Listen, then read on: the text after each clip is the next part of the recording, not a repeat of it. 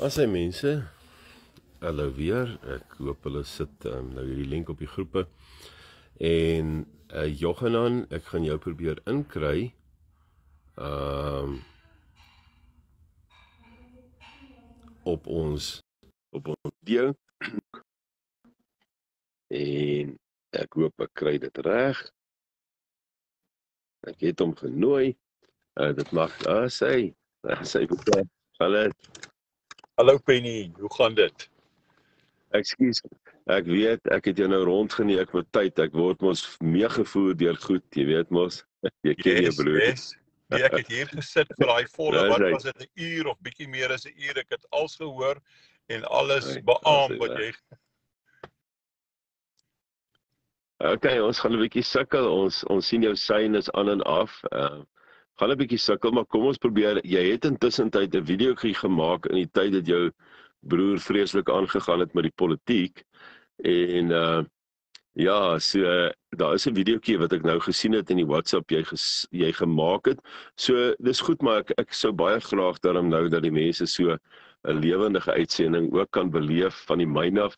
Ek besef daar's beperktheid tot syn uh, en dis beperk tot 'n klein area op die myn.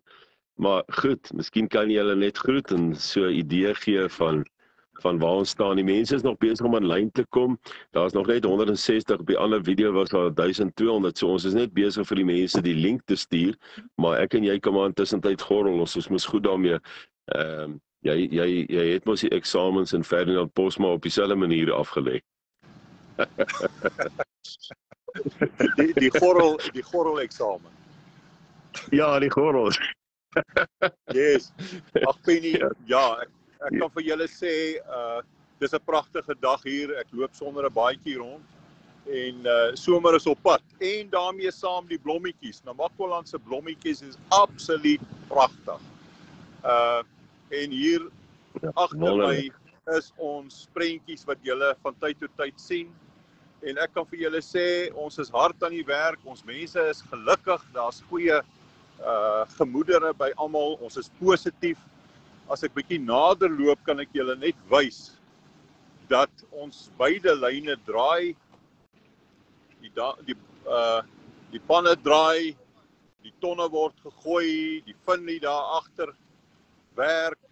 So ons het 'n uh, tyd terug besluit om nie vir die oomblik uh groter te gaan nie. Die uitdaging of die uh, wat sal ek sê, die versoeking is daar gereeld om groter en groter te gaan en natuurlik mense wil dit doen.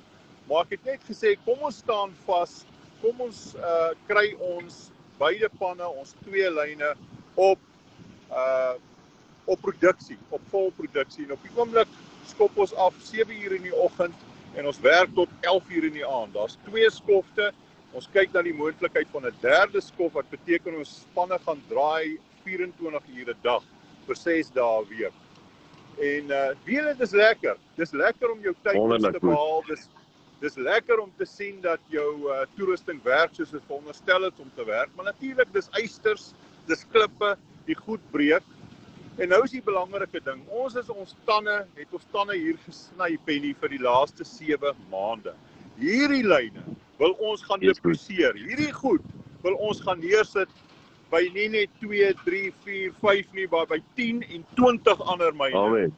En op hierdie manier Amen. gaan ons die aspirasies van ons mense en die behoeftes van 'n groter groep as net ons eie gesinne wat jy nou nog gesê het Natuurlik, ons moet daar vir ons gesinne wees, maar ons moet daar wees vir ons volk, ons moet daar wees vir ons mense en ons kan dit doen deur uh op hierdie manier produktief te wees op baie myne. Boeta, uh, miskien kan ons net in die wyeer konteks praat van mynwese. Jy het natuurlik, jy's 'n ou wat redelik wyd lees en beweeg ook. Ehm uh, jy kom nou terug van Engeland af waar jy weer by jou kinders se uh, 'n grade plegtigheid was nogal al vier uh weer eens baie geluk daarvoor. Uh dit is obviously hulle oom se breins wat wat wel daardie ding gedoen het. Uh Ek is baie bly dat jy baie mooi gehoor het. Stop nie. Ek moet, ja. ek moet 'n bietjie wegloop van die aksie af want ek kan nie mooi hoor nie, maar ek is nou verder weg. Ek kan jou hoor. Ek is baie bly dat jy nie daai gehoor het nie, Boet. uh lyk my jy verdwyn se nou dan. Uh, boet, ehm um, okay. Rondom rondom die die 50000 52 53000 mense op ons groep is nie altyd ingelig uh rondom die moeilikheidsgraad van mynwese in die wyeer konteks van Suid-Afrika. Nee, ons weet nou die die DMR en die staat besit die minerale regte of hou dit as custodian vir die gewone mense van die land. Maar vanweë korrupsie natuurlik binne staatsgeleedere uh is dit baie moeilik om noodwendig baie vinnig deur al die red tape te sny En dit verklaar natuurlik waarom ons bestaande permitte oorkoop of of uh, daarvoor onderhandel. Wil jy miskien iets daaroor deel rondom die uitbreiding en dat dit so noodsaaklik was om een model suksesvol te vestig, maar ook die problematiek rondom net eenvoudig uitbreiding en op groter skaal te begin myn en die uitdagings wat daarmee gepaard gaan nie net vanuit 'n capital expenditure, 'n kapitale bestedingsperspektief nie, maar ook op jou mannekrag en beskikbaarheid van goeie arbeid en dies meer. Ja, Okay Penny, jy het nou uh, gepraat van die DMRE. Dis uit die aard van die saak 'n departement waarmee ons moet saamwerk en uh sonder om uh te veel goed hier te sê. Uh ons weet uh, hoe dit gaan in hierdie land van ons. Ons weet dit as jy omtrent nie mense betaal nie, dan dan uh, kry jy nie wat jy nodig het nie. En ons kan uit die aard van die saak nie so besigheid doen nie. Dit maak dit dit maak dit moeilik. Ons het ook 'n situasie waar een vergadering lei tot 'n volgende vergadering en al wat bespreek word uiteindelik uh by hierdie vergaderings waar daar nie kon kon uh, konklusie bereik is nie waar besluite geneem word nie is dat jy kom ooreen om weer oor 'n week of twee 'n vergadering te hê. So dit is vers, uh, groot frustrasie, maar ons maak vordering en ons maak vordering omdat ons kinders van die Here het, nê? Uh, van die Here is en hy ons in staat stel om deur hierdie moeilike situasies te te navigate en uiteindelik die sukses te proe wat ons al reeds hier proe. Uh okay, dan het jy yes. nou gepraat van die van die weier penny uh ja, die duplisering van 'n stelsel, 'n myn wat ons nou reeds wil ek sê suksesvol myn. Ja, ons lieg nie vir julle nie met ander woorde ons moet vir julle sê ons is nog nie op die groot diamante nie en dit maak 'n groot verskil as natuurlik as jy die groter stene kry. Op die oomblik kry ons baie Absoluut. stene. Ek plaas ek plaas net hier en daar uh, weer eens 'n voorbeeld van wat ons uit die kluise kry. So ja, die stene is hier, maar hulle die gemiddelde steengrootte is nog onder 'n karaat. Die oomblik wanneer jy oor 'n karaat gaan, dan spring jou jou uh, inkomste uit die aard van die saak geweldig. Maar ons moet die groter prentjie sien. Ons is nie in 'n situasie waar ons nou onmiddellik maand tot maand onder die druk is om uh om om ons kostes te betaal en so meer en daarom om onmiddellik boeke moet balanseer nie. Alhoewel ons goeie besigheid doen maar ons sien die groter prentjie. Ons uh betaal die skoolgeld wat nodig is om hierdie visie te realiseer te te realiseer. En dit beteken werklik waar dat ons myne in groot getalle gaan oorneem en dat ons uh dit suksesvol gaan bestuur met ons mense, met die boere en met die namas wat in hierdie area is en bly. En ek kan dit klaar sien. Ons het 'n voorbeeld hier voor ons van Buffelsbank wat alreeds suksesvol is. Uh so Penny sê dit iets uh antwoord dit jou vraag? Ja baie baie ek ek is bly dat jy raak uh, weer eens aan 'n korrupsie wat wat absoluut rife is in South Africa. And therefore we sitting in a situation where we must uh, have a balance all the time between going forward and have fast growth, but at the same time have a solid foundation that nobody can attack your rights or or your presence in in a specific area. And we've seen that before, where uh, some of our opposition tried to um, even threatened uh, your personnel and people trying to intimidate at the gate and so on. And those are people that we were sitting around a table with. So it's it's very difficult because you've got all these these factions and that is that that is more or less prophecy in South Africa and in the rest of the world where uh, brother fights brother. And, and we've got a situation where we really have to be very wise and ask God for his protection and his wisdom basically on a daily basis. And it's so, as far as administration at our office in Johannesburg is concerned, but even more so on the ground where you, uh, where the t- uh, tacky hits the tire, obviously. Yes, yes. Uh, yes, I, I, mean, when you mention fear, I mean, fear is a huge enemy for our people today. I find it with a lot of people. And perhaps it's age, perhaps it's the benefit of hindsight that we know that God is with us. We've seen it, we carry the testimony. And uh, Penny, I am fearless. I am fearless. We do what we need to do uh, to the to our the best ability. We plan, etc. But we're not going to be intimidated. Uh, God is for us, and we will achieve what we set about to achieve. Yes, uh, it's amazing. Now, just in just in terms of development, uh, I think we can share a, a, bit of information regarding. I mean, obviously, we are not only negotiating further ground, but we are at a very very fast stage of concluding many agreements. Uh, however, we also realize that politics plays a role. Uh, there's basically three large players in Namaqualand and Northern Cape as far as diamond mining is concerned. It is the state itself in the form of Alexkor, and and we know that there's tremendous problems uh, with the Commission having investigated a lot of what has happened at Alexkor. Uh, the management worked together to form a company called Alexkor Bay Diamonds or something like that, or Alexkor Diamonds in Johannesburg. You might not know so much about it. I'm pretty much aware because I deal with a lot of dealers in Bedfordview, in Parktown, uh, as well as in Rosebank and, and the rest of Johannesburg. There's about 800 dealers that we have contact with. Uh, some of the larger ones uh, we've done a lot of business with. Now, one of the issues there is corruption is there because you've got poor people and even the management have been poor for a long time and therefore uh, they are vulnerable in terms of payment of large sums of money. So what's happened there, and again here, um, the Guptas are being blamed for things that have got nothing to do with the Guptas. I've dealt with a General Malloy at the time that wanted to take over our company in 2004, 5, and 6.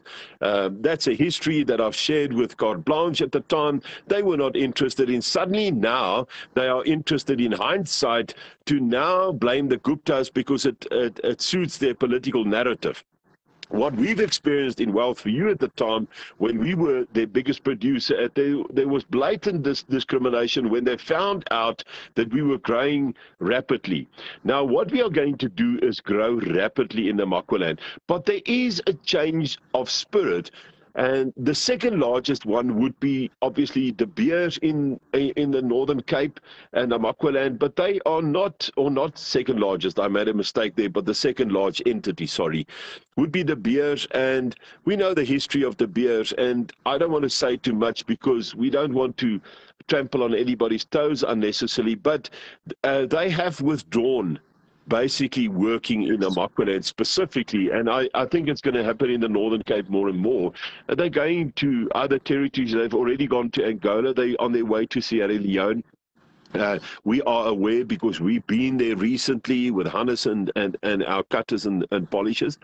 So, and then obviously we've got Trans Hex, and I've just heard that um, there was a bid for Trans Hex by the Russians, but they've withdrawn their bid, and that will change a lot of what is happening to Trans Hex at the moment. Is there something that you would like to share without obviously harming our relationship on the ground there in the Namaqualand? You've done a lot of work to build good relationships with all those people, and I must honor you as my brother doing that because I must admit admit that I couldn't do it in all these years. My approach maybe were too direct, and I think you have got the tremendous advantage of being maybe softer in negotiation, or maybe uh, you've just got the touch. Um, with your background, may I also add, um, I don't want to mention your background in detail, but you, you, know what I'm referring to, and and I can honor you for what you've what you've achieved in Namaqualand because I was not able to do that. Okay, okay. Well, thank you for that, Penny. Uh, Uh, thank you.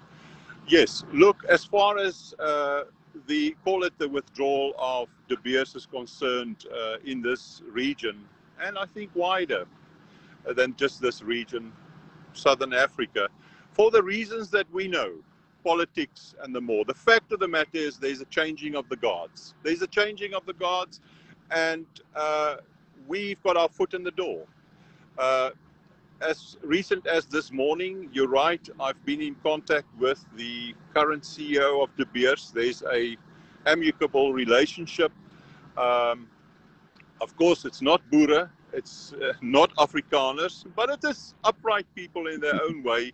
And we have maintained and built a healthy relationship. Uh, so, yes, you're quite right. There's quite a few uh, movements at the moment where, in fact, De Beers will release their last uh, remaining and very, let me say, lucrative, valuable permits in this area. And we are right there. So, uh, yes. Is, is that specific enough, Penny? Yes, I, am sure. Obviously, uh, everybody would realize uh, that we can't divulge too much information. I have a habit of divulging uh, too much, and I think it's wise that at this very stage, at a sensitive stage of them relinquishing their rights, that we don't talk too much about it. We'd rather talk about what we've got in hand and what we've negotiated so far. But it is very encouraging, and uh, you know, I just want to once more um, emphasize the fact that large corporations cannot compete with medium sized companies uh, like us. It is impossible for them. Their overheads are just pure and simply too high. Rand cost averaging doesn't make sense for them. And that's why they're relinquishing. And as a matter of fact, the only thing that we can be very wary of is the fact that they're relinquishing and not serving as custodians of uh, their buildings and the area and uh, fences and, and so on. And we've already seen the attack on some of De Beers facilities in Kleinseer. That was very, very sad. Luckily, it was not as bad as I thought initially. My information wasn't quite right on the groups but uh, you've uh, you've seen it and and well we had a bit of a difference regarding the approach there because on the one hand De Beers has really hurt people that, like they've done in the past but on the other hand they've also built towns and they also did uh, build some infrastructure. So it's a bit of a mixed emotions that I sometimes feel with some of these larger corporations. But we as a junior miner are in an ideal situation, and maybe you can share some of your discussions with your. Sorry, uh, the signal disappeared for a moment. Uh, maybe you can share without divulging too much. Are you there? Are you back? Yes. Okay, Buddha. So maybe you can divulge some of the information with colleagues that you've seen there in terms of what they feel the potential still in Namaqualand is for a junior miner and how to position yourself in future as such and not build a conglomerate necessarily that would be the equal of De Beers and then you might find that you are not uh, mining economically. Yes. Look, in terms of the resources uh, reports, there are still a lot of diamonds on the land. Obviously, with that yes. comes the politics of the land, but for that reason, we're working very hard at maintaining a good relationship with uh, obviously the Namas and the local uh, people. Uh, and of course, we want to address their reasonable aspirations for mining. So uh, once this deal come off, much of the lower lying, safer to mine areas will be uh, utilized in a way that we will partner with the uh, indigenous people of this area, of, of, of Namakwa uh, but in terms of the geologists and their uh, uh, resources documents, there are still millions of diamonds in under the soil. And we're going to get to them. And of course, we're talking about a very large area, 146,000 hectares, where again we won't only be uh, the uh, permit holders, but we will be the landowners. Uh, and, and believe me, there's benefits uh, in, in that uh, arrangement. Um, Okay, and then of course there's the marine situation, which when De Beers finally leave, which they're planning to do, uh, lots of opportunities there. It's generally believed that two thirds of all diamonds are actually still in the sea. So, but that's another yes. ball game altogether. Yes, you will remember that that was the reason why Wealth for You was formed and we focused on the sea. But however, I must say that I've learned my lesson. I mean, there we've lost a bit of money, especially at the end, about 40 million, although it is a relatively a small operation. Um, you know, we were the biggest at Alexkor at the time. But one of the lessons I've learned is that you can't fight with overheads. You can never fight with overheads, and you must make sure that you're as lean as mean and you grow as you produce. You don't grow ahead of yourself. And uh, obviously, we're very committed to um, giving our, our partners a big return, but we will have to continue with, with trade for quite some time until we establish an equilibrium, until we get that breakthrough point where yeah. production of our mines will actually start meeting all the obligations, you know, in terms of giving people a return on investment. All right, that's by the by. I want to touch on something a bit more personal and how how did you adapt? You've been in England and and since December you volunteered and, and may I just say once more, I, I don't even give my brother a salary. He came and he he volunteered and he wanted to come and make a difference in South Africa. Maybe on that personal level, if you can touch on how it was and the transition now after the seven or eight years, eight years in England, and suddenly in Namaqualand and in that very harsh environment, how are you adapting and how, how are you assimilated by the community there? Penny, I am happy. I'm very happy to be here. And of course, it, it hinges also on our uh, significant others' happiness. Uh, my vroukie Jael is baie gelukkig. And so that that is uh, uh, that's so important. Um, we are a close knit family. Wonderful. So the three boys finally, yes, flew the nest. And I mean, they're not boys anymore. Uh, Johanan and Noah, our twin sons, are 25 already. And uh, but yes, uh, a close knit family, and it was difficult to to let go of them. Uh, some of you might know we homeschooled until they were 15. Benjamin was 13 when, for the first time, they went to school. And uh, today they've graduated and they're on to do their masters, etc. And they've made us very proud. And of course, as, as parents that homeschooled, we always sat with this. Uh, you know, we weren't quite sure how they will cope once they enter formal education. And the proof is in the pudding. They top students. They at the top of their class. They've made us extremely proud, and they they're doing what they want to do. But yes, it's not in South Africa. It is in England. Um, and yes, you know, I would say. Uh, a while ago, I actually thought to release a little talk about this. When people are so quick and ready to criticize those who found it necessary to uh, to leave Afrikaners in South Africa, you know, uh. Uh, of yes. course, we don't know. We shouldn't judge unless we walk in somebody else's moccasins. And the reality is that some were Absolutely. forced out. But but we are very grateful. I'm very grateful that we can be back here, and uh, it's wonderful. So, in in short, Penny, to answer that question, very happy to be in Namakwa where we spent some of our best childhood years, of course, at Port Nolloth, where our father was uh, a minister of the word there, spread the fragrance of Jesus all over this area. Uh, and it's good for me to be back. And of course, the other thing is, Penny, we are very busy. I am busy. I, uh, the older I get, the less sleep I need. I think I sleep four, five hours a night. Not even five. I don't need a lot of sleep. Maybe that will change again in future, but for the time being, I'm up very early, I'm up late, and I'm busy all the time, and I enjoy it. Wonderful. Um, uh, we share that in terms of sleeping. Uh, maybe sometimes a bit of worry, but one thing I've learned is that that is also the best time to speak to God at night because then your brain is a bit less active. And, uh, and it's the old, not only the old saying, but it's so clear in scripture that God wants to speak to a sound mind. And sometimes we are so active, uh, actively um, propagating our own dreams and plans that God has to interfere at night and actually get us to a point where we're very quiet. Yes. Well, you'll remember three o'clock in the morning. Uh, so Ma used to tell us three o'clock she can set a, a, clock, and she didn't, but Pa would be up, and that was his appointment with the Lord. So, yes.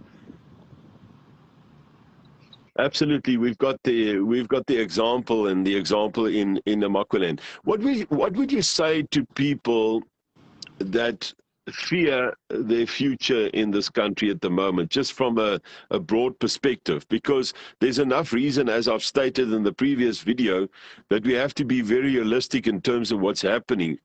But I mean, compared to England, is there comparisons that you can draw in terms of what they're doing right and we wrong and we doing right and they wrong? You've had the uh, exposure now for quite some time look, you've got to give credit where credit is due. The fact is that for the most part, England, the UK, is a law-abiding society. It's also uh, a very decent society. When you drive on the roads, etc., the courtesy that they extend to other motorists, you, you have to acknowledge it.